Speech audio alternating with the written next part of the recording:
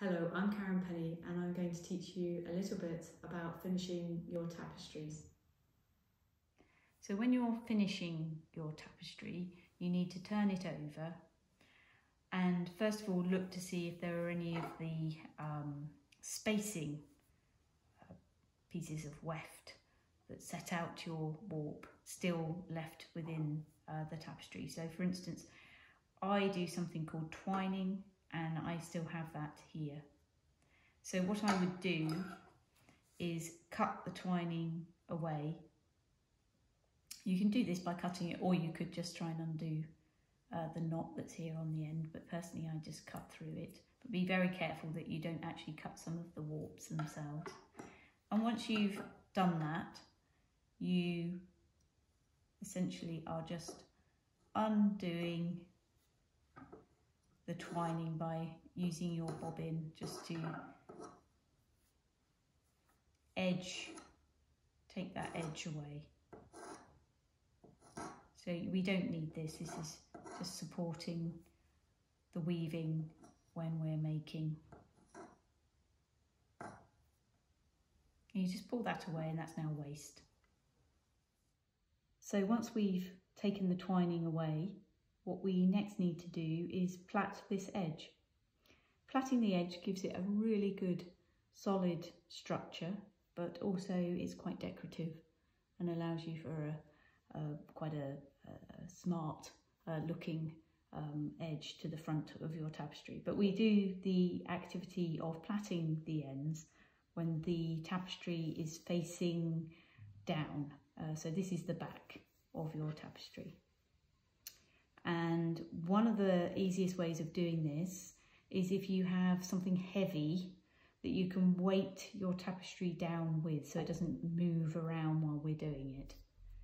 And I'm going to take the first three warps. Here you can see the first three warps. One, two, three. And the one that is here, so it's the outside warp.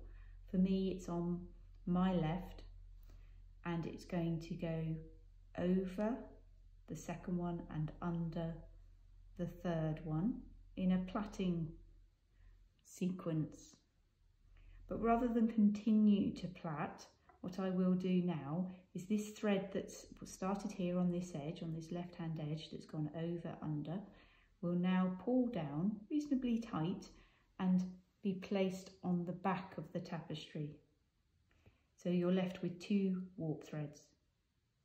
I then pick up the third, a third one essentially on this side and the one on the outside again goes over and under and then gets pulled down tight again onto the back of the tapestry and then you pick another one up on this side and you're taking again this outside left one over under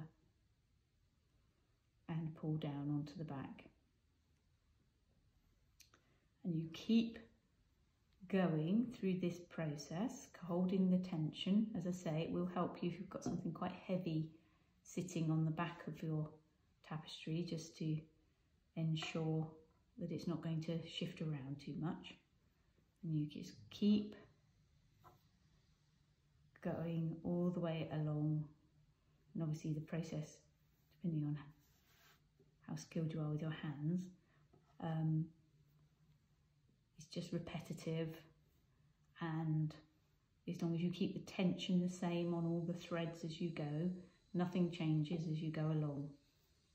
And it is all about, if you want a very neat edge, then it is all about keeping that tension consistent all the way along.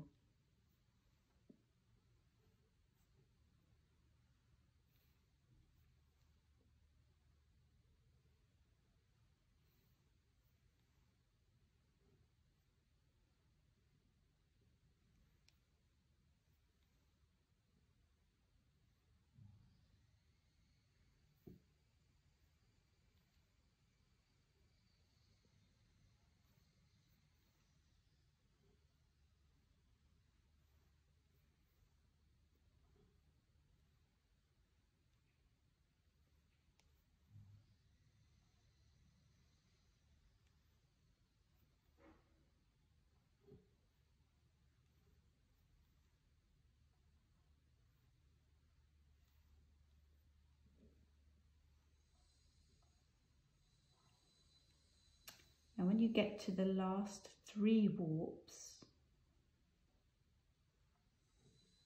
we do something slightly different. Again, we're just carrying on doing this until we get to those last three. So, take that one down and now we have these three warps here. I'm just going to adjust that so that that's sitting over the top of all of those threads and weighting my tapestry down. So I have these last three warps here and again I'm going to plait these now, actually plait them. So the outer one on the left goes over under and personally I like to hold this quite tight in the corner so that it's, as I say, it keeps it nice and neat. So I'm going to hold that quite tight especially this very first um, unit couple that I'm going to going to perform. So again, from the outside, from the left over to the middle, and now just let go of this in a second. There. And now this one over into the centre of that. This is classic plaiting into the centre. The ones on the outside go to the centre outside into the center, outside into the center, and you just keep that momentum going with those threads on the outside go to the center and this thread now on the outside goes to the center and it just keeps going and I keep making a lovely plait now with these. Now when you feel that's long enough, uh, say about two centimetres, at this point you can, actually I'm not going to use that one, I'm going to use this slightly shorter version. You can put a little knot in at the end.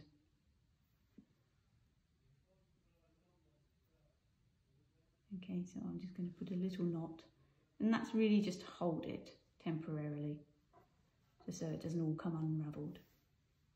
This long end here I'm just going to cut.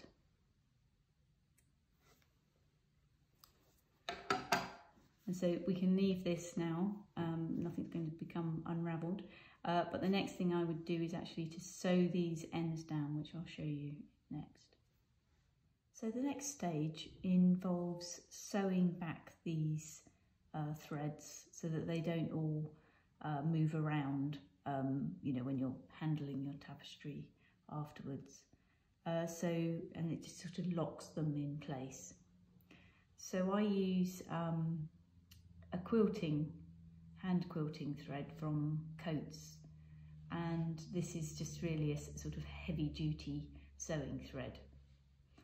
Now normally in this situation I would be using this cream uh, colour because it obviously sits would sit very nicely with the warps um, and disappear but in this instance I'm going to be using a thread which is of a slightly darker colour so that you can see what I'm doing. So I'm going to pull off sort of just an, an arm's length of uh, thread.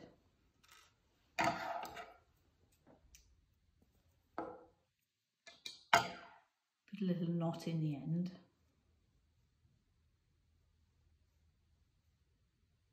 Personally, I put a little double knot. And then I'm using this curved needle, but to be honest with you, you don't need to. It's just something that I like to use. Uh, you could just use a straight needle.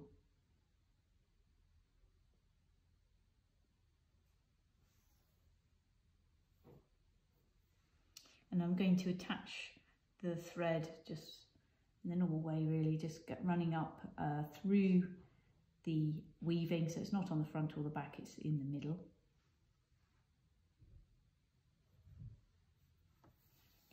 With my little knot there and I will deal with this end at a later date. Not right now, I'll just leave it. And so I'm going to pick up my first thread and I'm just going to take the thread over the top of it and then I will, sorry, sew a little bit towards myself, again going down between the weft and um, the warp effectively, sort of like in so it's sort of in the middle of your weaving. a little stitch like that. And now I'm going to go in twos, so I'm going to collect them up in twos and do exactly the same thing. Do a little stitch again down underneath the weft, running with the warp.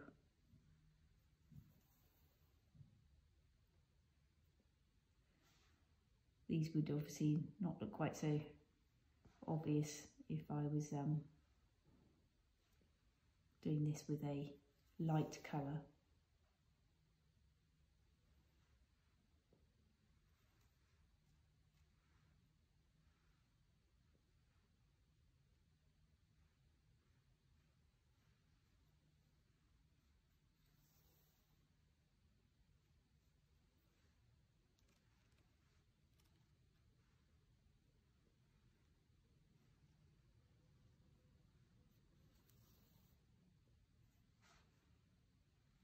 And all this will do is just hold everything in place.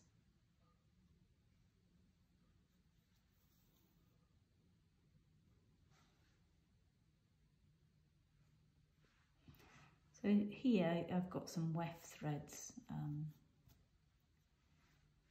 so I might try and just hold them down at the same time as the warp threads. So I can get all this in the same bundle.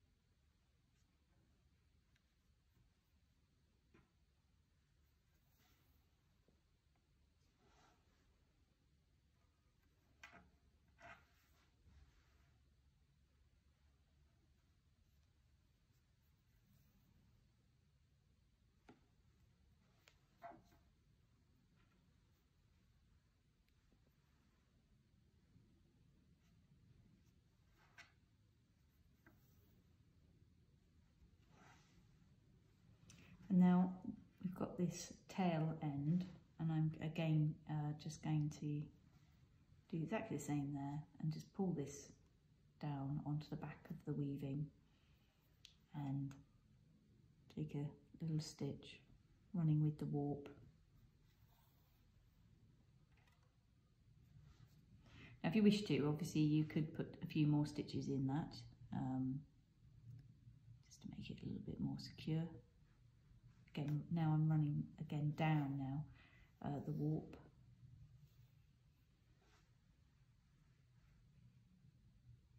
Just to give that a little extra stitch. And to finish I would run this thread as far down as I could without it being on the front. Through my weaving and down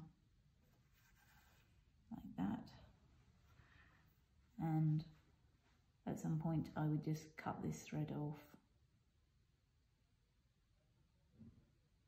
I'm just going again, just taking it a little bit further down.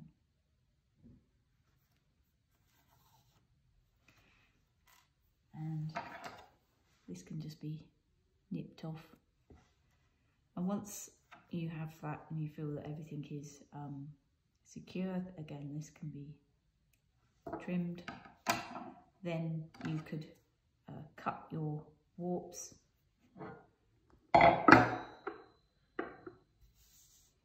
So you would just cut them short, say about there, all the same length, going all the way across, um, and then the uh, ends um, obviously won't move around and this will be a nice neat uh, edge.